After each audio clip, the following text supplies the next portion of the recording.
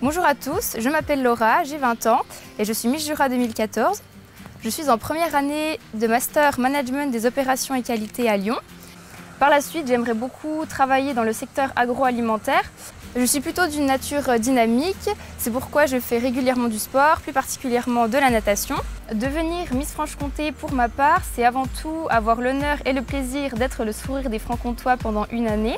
Et puis bien évidemment, je profiterai de ce titre pour soutenir encore et toujours deux causes essentielles à mes yeux, le don du sang et le don d'organes. Merci à tous, rendez-vous le 18 octobre.